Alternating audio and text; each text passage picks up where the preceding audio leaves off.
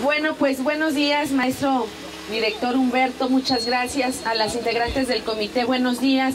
Una disculpa, eh, esto, esto es parte de las actividades que estamos haciendo. El día de hoy queremos visibilizar que en Puebla actualmente existen 12.000 escuelas de entre primaria y secundaria. De esas, aproximadamente están un millón y medio de jóvenes que hacen uso de estas instalaciones, que solamente pueden contar cerca de 60 mil maestros que son quienes están educando en todo el estado de Puebla a estos alumnos.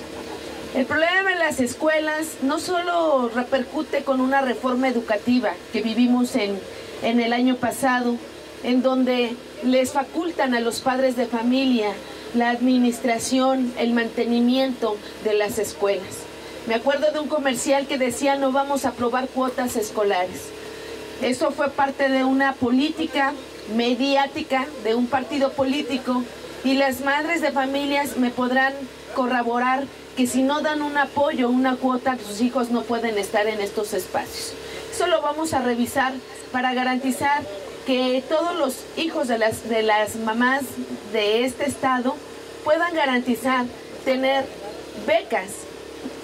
Este programa lo he venido anunciando de las becas salario para que los jóvenes de secundaria puedan tener un apoyo de 300 pesos, los jóvenes de secundaria de 500 pesos, de 500 pesos y la gente que está estudiando en la universidad tenga un apoyo de 700 pesos.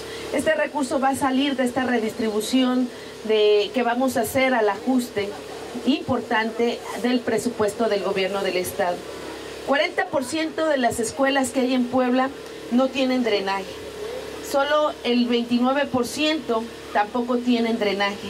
El 11% no tiene baños. El 9% electricidad.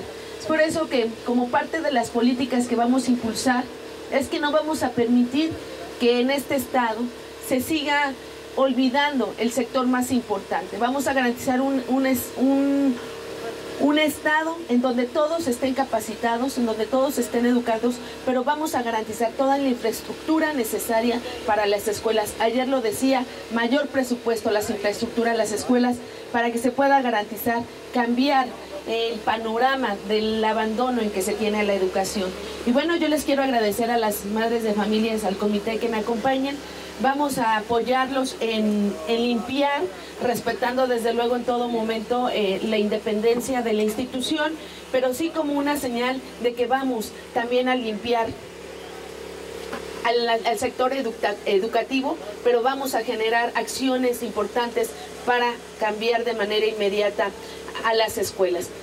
Roxana Luna, PRD.